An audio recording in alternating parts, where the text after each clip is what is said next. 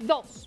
El presidente de la República no hará por ahora ningún ajuste ministerial. En las últimas horas había circulado la versión según la cual la ministra de Transporte, Natalia Bello, sería reemplazada por el joven empresario barranquillero Jaime Pumarejo Haynes. Los rumores nacieron en Barranquilla con mucha fuerza y se extendieron hasta círculos políticos del país. Sin embargo, voceros autorizados de la Casa de Nariño dijeron que no había ningún ajuste en el gabinete.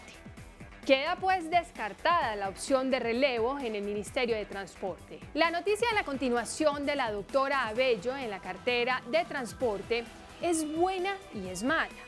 Buena para quienes creen que su labor es buena, pero opacada por el vicepresidente Germán Vargas Lleras, que aparece en todas las inauguraciones de las obras. Y mala para quienes creen que la ministra es totalmente ineficiente.